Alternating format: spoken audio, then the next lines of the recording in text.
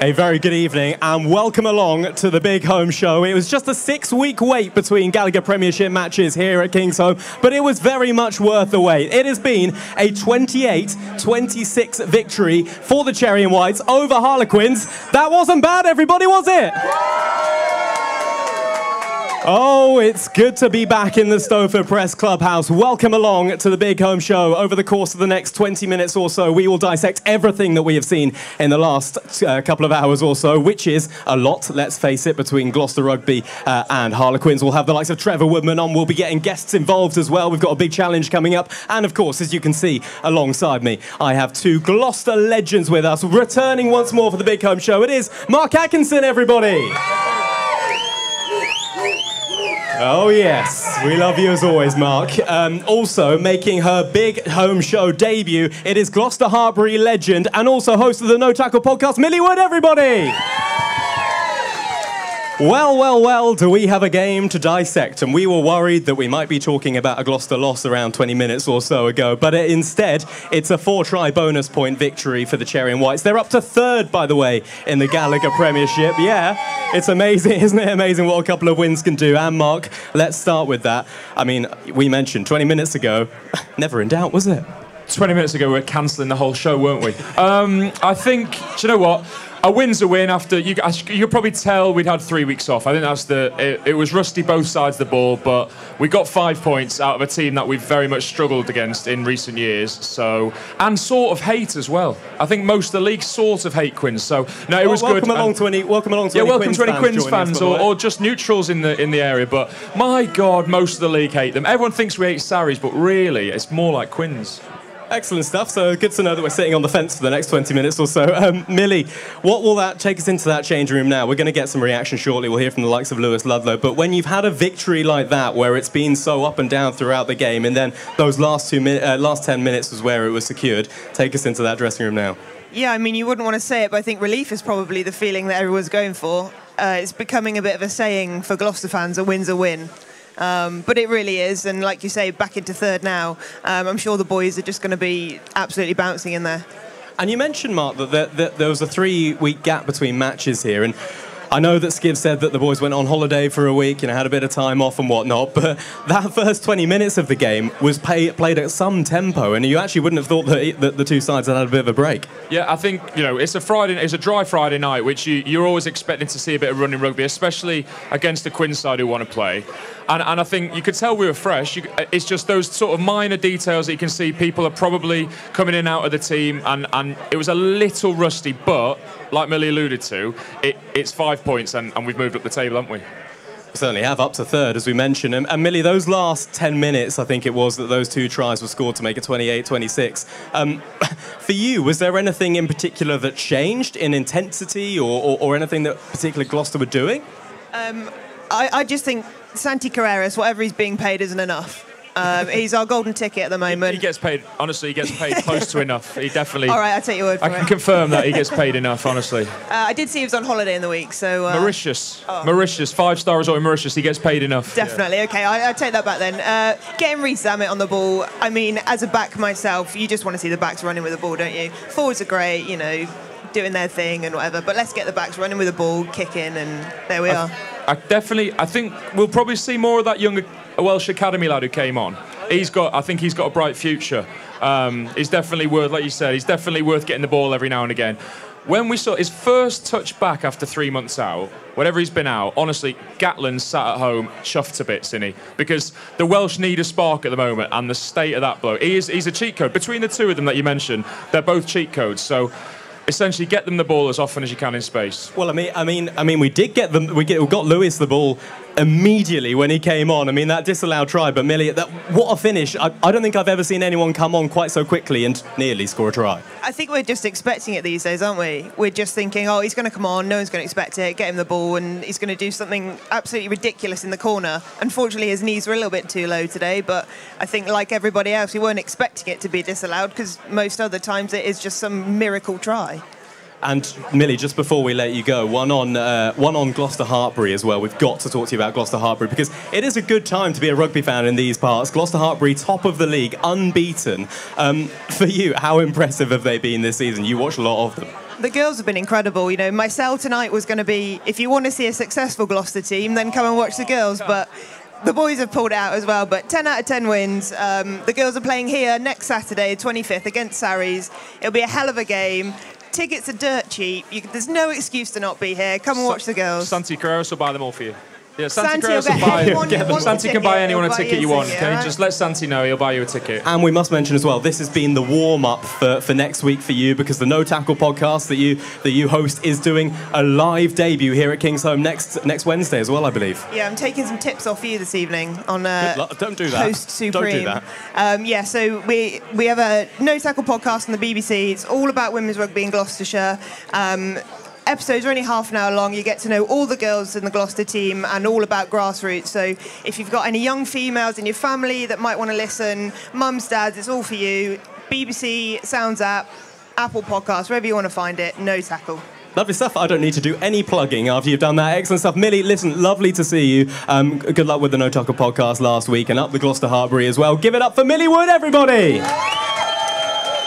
So, our first guest on the Big Holm Show, if you are just joining us, by the way, across social media, welcome. Gloucester have beaten Harlequins by 28 points to 26 here at Kingsholm. They're up to third in the Gallagher Premiership. And a man that orchestrated certainly that first try, maybe not the backs quite so much, but a World Cup winner with us this evening. We have the scrummaging coach for Gloucester Hartpury. Please make you some noise for Trevor Woodman, everybody. Go on, Big Trev, we're here. Gloucester royalty in the build. Look at him. Hey. Good to see you, Trev. Sorry, I didn't stand there. Couldn't be bothered. Uh, Like, just Listen. to confirm, we said that he'd like to be addressed by his full title at all Sorry. times. As you, as you, as you were, his full title at all times, please. M- MBE, I should say. Trevor, listen, welcome to the Big Holm Show. Uh, first things first, everyone here wants to know the most important thing. What do you think of our chairs? Can I take one home with me? Sure, yeah, we've been asked that many a time. We're going to need a bigger budget, but yeah, we'll give you one, absolutely. Um, listen, Trevor, Millie, Millie was just with us. Mark has just been with us as well, haven't been into the dressing room. You have. Tell us what it's like. Yeah, look, um, obviously we're very excited. We got the five points. That was that was really important. Um, when you're, you know, Quins and obviously next week Northampton, um, we're all we're all very close in the league, so that was important. I think the players are obviously it's a bit bittersweet, isn't it, with Harlequins coming away with that try right at the end, which gives them those two points. But look, there's a lot of hard work gone in in the last two, three weeks without having any rugby, um, and that was a solid performance in that last 20. You know, we got we got behind, but then, you know, we didn't panic. You know, bit of stardust by you know Santi and and Zam, and you know we got ourselves back in front. And what was the talk at half time? 14 7 up. We mentioned that the game was played at a pretty high tempo in that first half. Uh, in terms of the second half, did you want to continue that? What was, what was the chat? Yeah, you know, it was all- it was all about you know George was very animated at, at half time, and it was um, you know making sure that we got our processes right, we got our basics right, and it was also about how much do we ultimately want it. You know, how much do we want to go out there the next 40 minutes?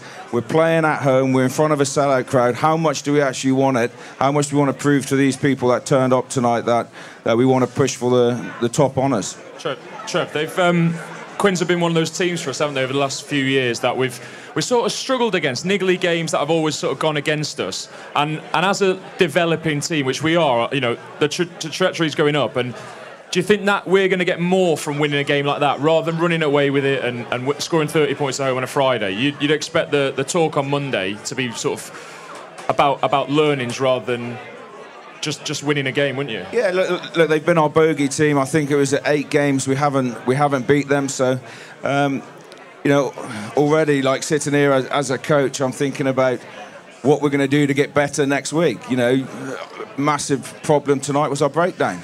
You know, probably seven, eight plus turnovers at the breakdown. You know, ideally you operate three and below.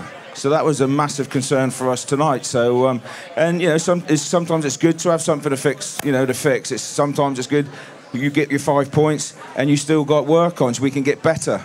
And there's a couple of players that we've got to talk about this evening. Let's start with Seb Blake, shall we? First start at hooker for the Cherry and Whites this evening, and a try uh, to get things started for Gloucester as well. What a way! I bet you're delighted. That's the perfect start, isn't it? Uh, it is nothing really phases him to be honest. Like sometimes you sometimes you don't even think he's all there. Like he turns up and you know, I had to have a word with him last year about is there any chance you could do your bootlaces up before we actually start training? Because he, he'll, he'll That be. is the thing. Do you do that as well? Do you have your laces not done up for training? Because I see a lot of players. It's the cool players that do it. So I assume you do. It's the cool. It's the cool one. So I, I tie my laces. Oh, you tie Uh, and. Trev tells us off. I was scared of Trev a little bit, so I've always taught, tied my laces. But Trev, Trev, he is one of those players, isn't he? You're not sure what's quite going on behind the eyes. Are you? He's, he's relaxed to say the least. Yeah, he's very laid back, you know, and and that's that's not a bad thing either. I think, you know, the belief he'll get from this game is should you know send him, you know, up the next level or two because you never know as a young player coming through. You don't really know, you know. Are you going to cope at that level? Are you going to be able to survive? You know, and you know he shined, didn't he? He was outstanding. Could you just explain sort of the the comms that might be happening between um, Seb Blake, obviously we just discussed youngster coming through. You're looking to your left, looking to your right. You've got a Georgian bloke who doesn't speak to half the squad and a Russian bloke who doesn't speak to the other half of the squad. How is that dynamic? You've been seeing them up front this week, haven't you? How's that dynamic work between the three oddballs at the front? I think uh, most front row, they're all very odd, so you just get used to it, don't you? So it's just telepathic, isn't it? You don't. The front row are a weird bunch, and um, and we definitely got a few of there. Well, if we, if we go from, from a man who you mentioned was making his first start for the Cherry and Whites this evening to a man who was getting his 100th cap in Val Rapava-Ruskin, um, let's hear it for Val Rapava-Ruskin, everybody, because that was some achievement. And, and some performance as well after your 100th cap for, for the Cherry and Whites. Um, explain to us how instrumental he is in that team and also what he's like to coach as well. He said instrumental, not mental. He said Instrumental. Um, You can answer either. instrumental, Trev. I, th- I think it's, it's been very much a love-hate relationship with, with Val at times. Um, you know, you sort of like give him what you want him what you want him to do for the team, and sometimes he'll go off and do do his own thing. But this year, he's really bought into to what we're about, especially in and around the scrum. And you know, he's been outstanding. You know, there's a reason why our scrum has been as good as what it's been this year, and it's because of Val buying into it. Um, you know, and look, he's he is a physical freak. This, the things he can do um, around the field defensively, at the breakdown, you know, the ball carry, and then look, he's he's done 80 minutes tonight. You know, Seb Blake's do, done 80 minutes. You know, it just goes to show how fit he is, what a physical specimen he is, and you know, you don't see many front rows do that nowadays. And he's also someone that, that you, you don't really necessarily think that he would have 100 caps to his name because we still see him as someone who's quite young um, and playing the game. Uh, How important has he suddenly become this season for Gloucester? Mark, you can probably come into this one as well. Given that we're now up to third in the league, how influential are people like him that have played for a little while but nonetheless still have that kind of young energy that they're bringing to the side? I I think uh, Trev touched on it. it. It's not that we've we've always known, and he's done it in fits and starts over the years. We've seen him do a half an hour here and there where he's just been he's been devastating at times. The reason we signed him was pretty openly. We went up to Worcester and he just ruined our game, didn't he? We, we he took four breakdown penalties off us in the first half, and I think David Humphreys signed him there and then.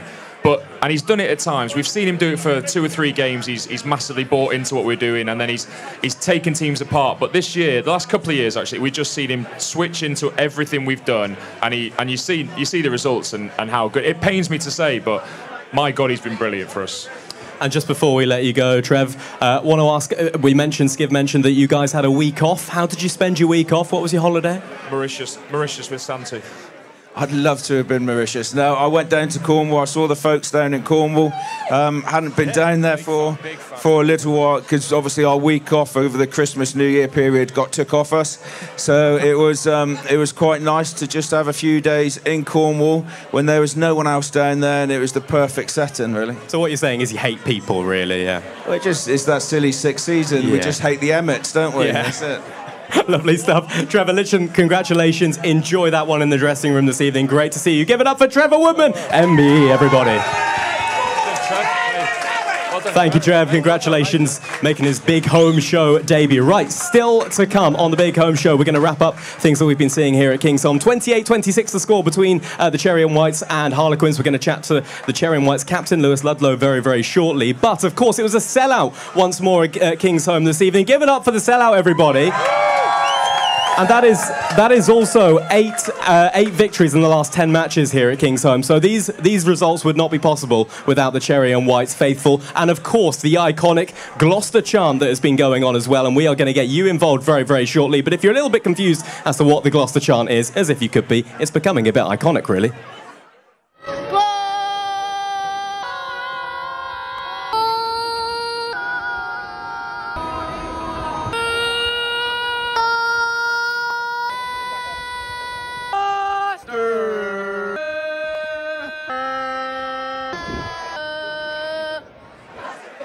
So the standards are very high for the Gloucester charts, uh, uh, chant. So we're going to get four lucky contestants up to the front here at the Big Holm Show. We've got our leaderboard ready as well to write their scores on. So let's give it up for our first contestant, Neil. Up you come. Give it up for Neil. Hey, welcome to the stage, Neil. Hello, Neil. Take a seat. Welcome along to the Big Holm Show. First things first, reaction to that win. Oh, fantastic. We only come here to see him win, And out of and the they don't four, disappoint. out of the four tries, which one's your fave? Be honest, not that mauling shit. Don't worry about Oh. that. Yeah, come on. Santi Carreras at the end. Yeah, Santi, Yeah. definitely. We'll I go mean, with that. Eased the nerves a bit, didn't it? really eased the nerves, didn't it? So, Neil, very, very simple this. We need you to do a Gloucester chant. You will get points from Mark here for the strength and also the duration. That's an important part. So, ready on my countdown? Okay. Okay, three, two, one. Neil, go for it. Oh,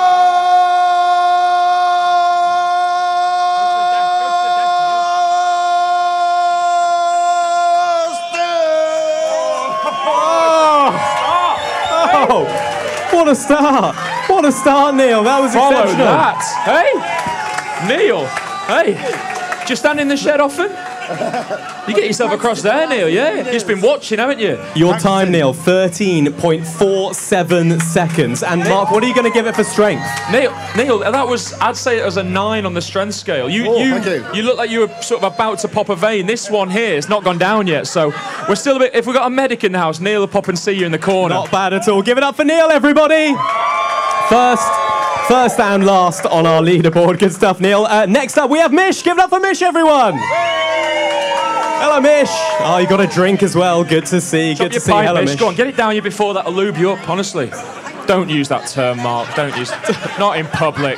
Just whatever so you want to well. do. Whatever. No forceful here. Mish, uh, you, you've got quite a high standard to live up to there. How confident are you feeling? You intimidated? You got to you got to use your mic. Remember, don't uh, everyone. Oh, you're getting it Doesn't need the mic. No. Doesn't need Okay. the mic. Doesn't Right. Need the mic. You got the fans, haven't you? Mish, you have 13, 13 and a bit seconds Look to beat. You're a crowd. fa- You're a crowd You've got a lot of support from the crowd. In three, two, one. Oh,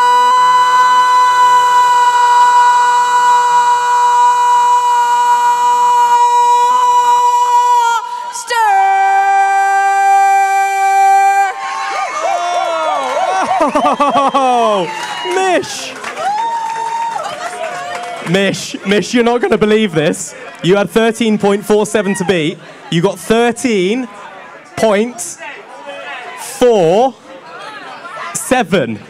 This. What? What's all that about? For a second there, you you weren't in the room for a second. Did you? Were you aware of that? You, What? you were No, sort of no, no. possessed for a little minute. You you sort of went into a different area, didn't you? Yeah, yeah, Yeah, the eyes went, didn't they? Very. Ha- have you, Miss, can you do a haka as well while you're here? Because no, no, don't really do it. But your eyes. I, I think Mish would. Have you got some kiwi in you? What are you giving little it for strength, Mark, just before we let Mish go? What are you giving it for strength? You know, again, for the aggression, I'm, I feel intimidated. If I don't give it a nine, I feel like I'm going to sort of have the, the devil that was possessing Nine? Mish. Yeah, it was Okay, another- nine, right, we're level. It was an angry nine. Level, good stuff. All right, next up, our third contestant is Jane, everybody. Jane, Oh, Jane. Jane, Jane, absolutely Jane. no pressure. Oh, I bet you're pleased you said yes to this after those first contestants. Yeah, well, you'll be fine. Listen, strength, duration, they're the key things. Jane, to take the lead on the Gloucester Chant leaderboard in three, two, one, go!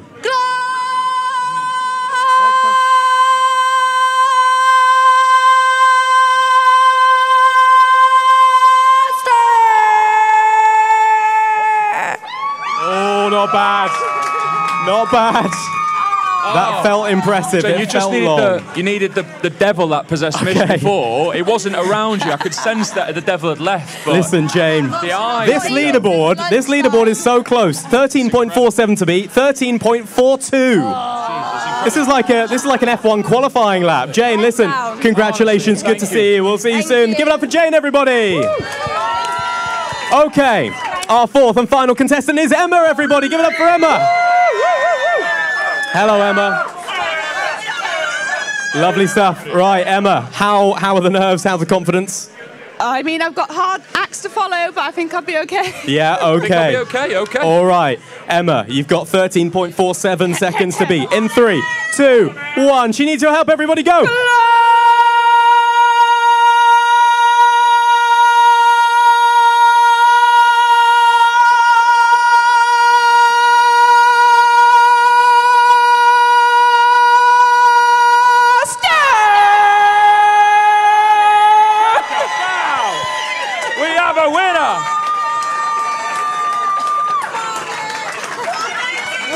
Wow! Emma, are you Emma? Are you a singer? A professional. You had the wobble going. I'm nervous. As a professional Gloucester, I don't know that was a job, but if there was a job, that's that's taken it, hasn't it? Oh my word, Emma! Listen, you absolutely smashed it. you very much. 19.19. You were the top of our leaderboard. Wow! Good stuff. Right, Good just before God. just before we get the Cherry and Whites captain on, uh, we do have a fifth contestant, of course, and uh, and he's right to my left, Mark Atkinson. Sorry, I've thrown you straight under the bus there. I reckon Aki has it in him. I reckon he does. Are we ready for Aki? I usually, I quite often Okay. hear e- Eeyore. Yeah. The chant I get a lot is yeah, Eeyore yeah. when I'm playing, not this one. So. You'll be all right. Yeah, in okay. three, he needs your support. In three, two, one, go on, Aki. Stop!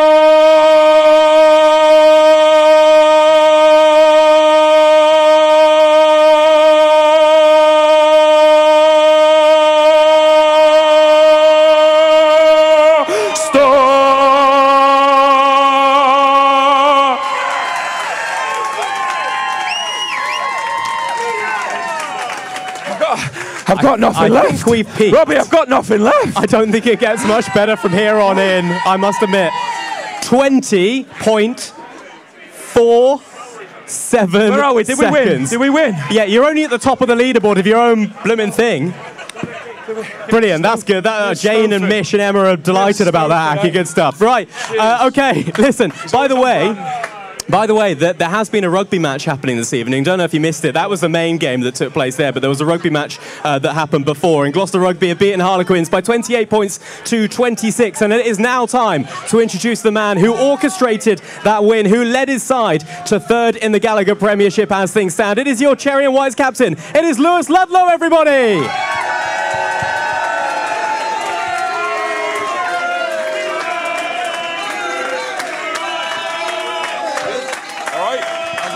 Take this one. Lewis, Lewis, Lewis, good to see you.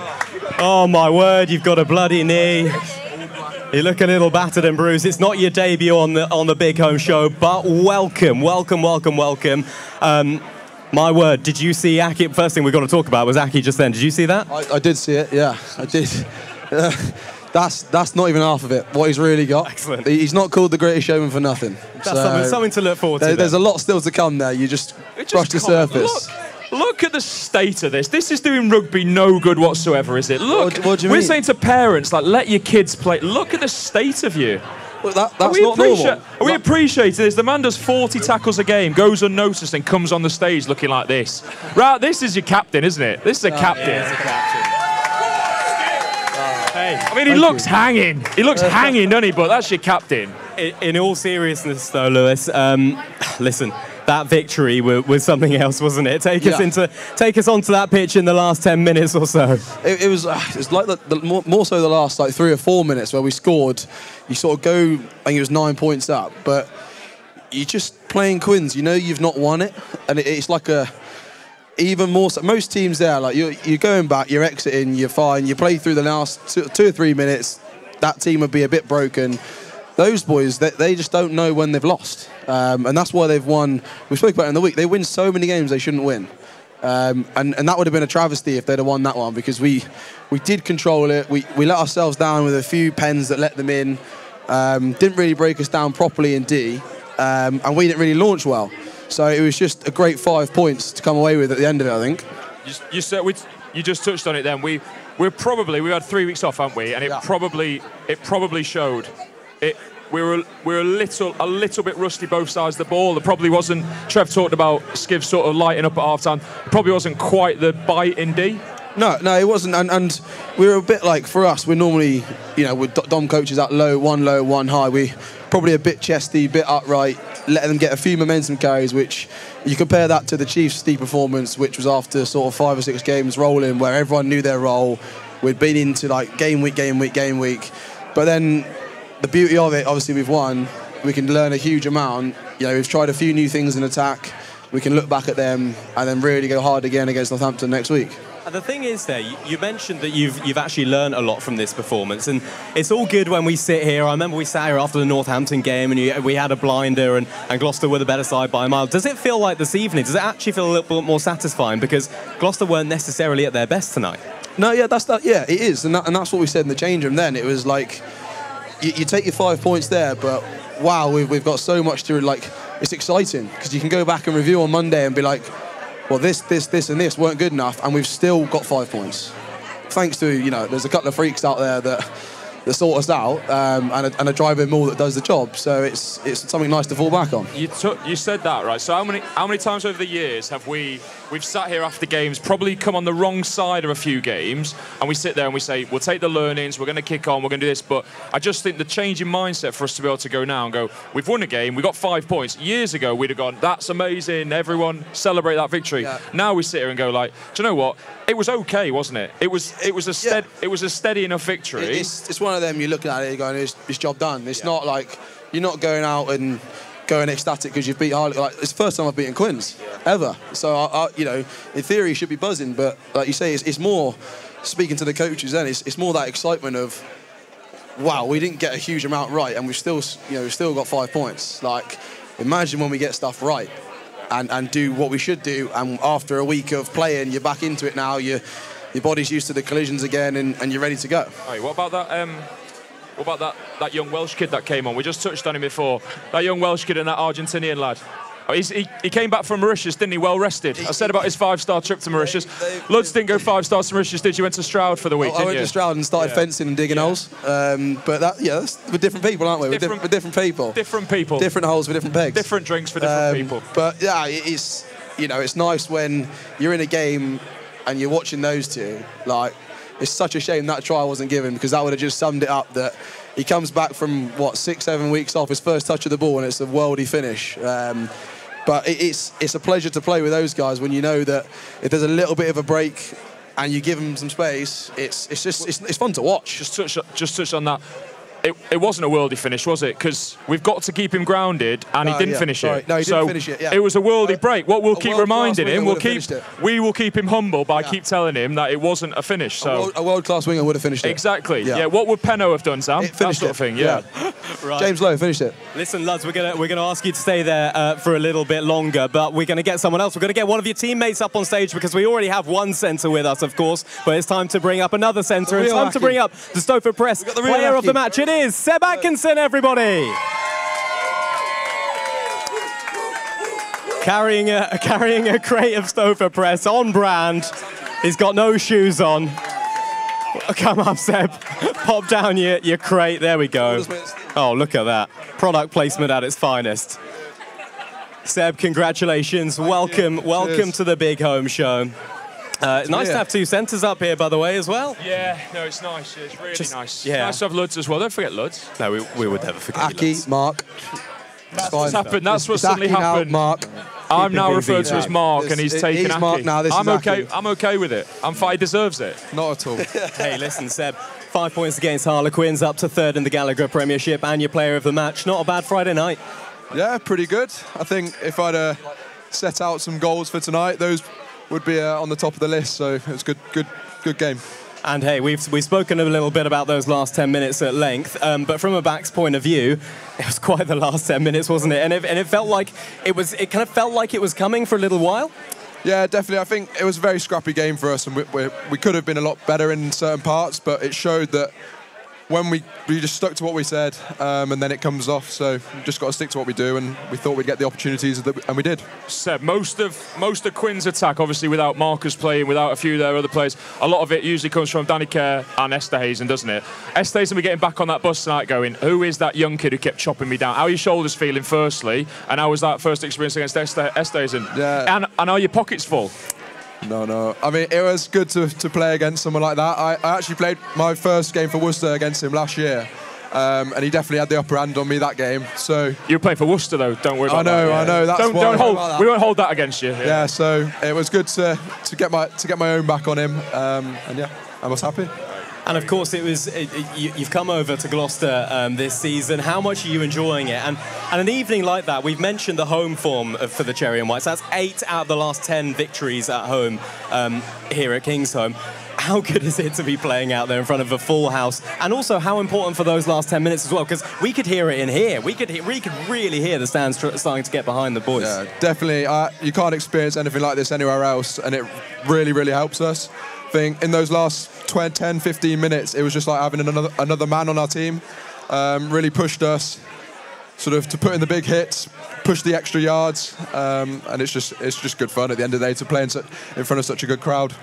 And for you, lads, is it in some in some ways a little frustrating? Like you haven't played a Gallagher Premiership match here for six weeks. Um, in in that time, I know you've had a, a, bit of a break. How hard was it in the lead up to this game to come in with high tempo, with fluency, especially when you're playing against a team like Quins, who you know are going to come and play a, a high tempo game of rugby? Yeah, it, it is. It is difficult, but I think we had a well, we had a proper training week last week, didn't we? It was we were in some serious holes in a couple of sessions. It was it was awful, to be honest with you. Um, you don't look forward to those training weeks when you're when you're playing mid like mid season. You think you might get a little nice rest, or they, they tried last year. They tried to taper us off, and that didn't work. So this year we're just going to get fitter and stronger. Um, so it was, but it worked. You know, it does work. You've sort of done us, though, haven't you? Because people see these gaps in the season, and as you said, as players sort of see them and go, "Oh, that'll be a that'll be a nice week." Yeah. But the fact that boys went out tonight and put a performance in Yeah. suggests that the coach has got it right, which is going to kill us later down the line for Yeah, more hard, we'll for more hard work. So Five shed sessions a week. So, Exactly, yeah. Just more and more. Just get you in the can't well. win. You can't win really. Just get in the well, like Johnny said. every day is a shed day. yeah. Listen, uh, congratulations, Lewis. Congratulations, Seb, uh, on being player of the match and the win, of course. Um, just quickly, how does the next couple of days look? How does tonight look? Maybe an easier question. Very different for me. I'm, I'm going to look at a load of Land Rovers tomorrow. Um, Stop trying to sell your and, snide Land and then Rovers. and Nobody- fencing. We've got Seb coming in with Seb, his Seb's crate probably of going Stowford Press. chop them and enjoy himself. A glass of milk before bed, I think. Absolutely, of course. Wouldn't want it any other way. Uh, listen, thank you very much indeed, gents. Uh, thank you to all of our other guests as well. We've had Millie Wood on the show. Give it up for Millie, everybody. Yeah. We've had Trevor Woodman as well. Give it up for Trevor Woodman, everyone. MBE, MBE. Trevor Woodman MBE. And MBE. And also, we've had, of course, our wonderful contestants on the Gloucester Chant game, which needs some work on the title to that. But give it up for them as well. And of course, of course, I would not leave out the wonderful Mark Atkinson. Aki, as always, a pleasure. Lovely to see you. Thank you, Robbie. We'll see you soon. Uh, yeah, give it up for Aki, everyone. Come on. Come on. The poor bloke has to sit next to me for 20 minutes. Um, and thank you so much to you for listening as well. Uh, Millie Wood, of course, was on at the start of the show. A reminder next rugby here at Kingsholm is a week tomorrow. It is Gloucester Hartpury who are absolutely flying, taking on Saracens, the defending champions of the Allianz Premier 15s. Uh, it is finished here at Kingsholm 28 points to 26 for the Cherry and Whites. They are up to third in the Gallagher Premiership. And if you would like to be back here next year, which I think you would after that performance, 2023 24 memberships are on sale now. Take a look at this. A lot has changed since we were founded in 1873. Since we sold our first season ticket. Since we printed the first program. Since we heard the first crowd cheer. Gloucester! Favourites to win today and favourites of the crowd. Since we followed our first captain. Since we brought home our first trophy. But some things haven't changed. Like the Kingsholm faithful. And the roar of the shed. Sign up now for the 2023-24 season. There's 150 years of rugby history in our blood. Be there when more history is made.